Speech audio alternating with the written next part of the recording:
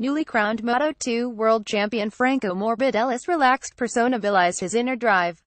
After clinching the title two weeks ago in Malaysia, the 22-year-old son of a Brazilian mother and an Italian father arrived in Spain for the season-ending race feeling much lighter.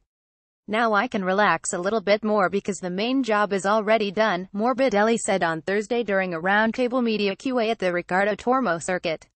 You have to use pressure as an advantage. I will try to stay focused and win, to express my best riding. Last year, Johann Zarco capped his second consecutive Moto2 world title with a victory at the traditional season-ending Spanish event before making the leap to MotoGP, where he secured Rookie of the Year and Top Independent Rider honors.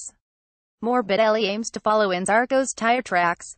A graduate of Valentino Rossi's VR46 Riders Academy, he will swap his Honda CBR 600RR powered Kalex next season for a Honda RC213V in the same Estrella Galicia 0, 0 Marc VDS livery.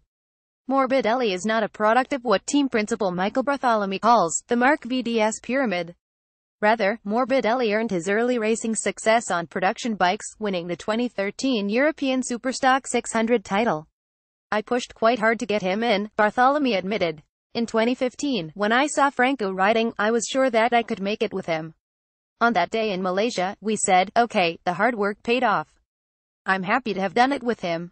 It was not easy. In fact, when Morbidelli joined the team in 2016 after recovering from a broken leg, he was afraid of Bartholemy. I had to show him that he made the right choice, he said.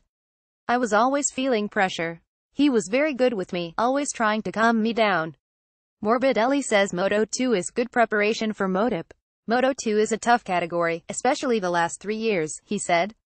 Everybody had the same engine and the same bike the only thing that was changing a little bit was the suspension and the way of working. I think Moto2 develops the rider a lot for riding style and working method, but MotoGP is going to be a completely different story. Maybe what works in Moto2 to preserve the tire doesn't work in MotoGP. The bike will be powerful and fast in the start of a learning process, he added. The main thing I have to learn is the riding style. I had to adapt my riding style from street bikes to prototypes. I don't know anything about electronics, but I am ready to learn. Regarding Sunday's MotoGP title shootout, Morbidelli has mixed feelings. I'm Italian, so I really like Andrea Dovizioso, he said. If he wins, I will be happy. Also, if Honda wins, I will be happy. It would mean that the Honda is a great bike and that I'm getting the World Championship bike. At Thursday's MotoGP pre-event press conference, Valentino Rossi was asked if Morbidelli will be as competitive next season as Zarco has been this year. The nine-time world champion chuckled, then replied, I hope not.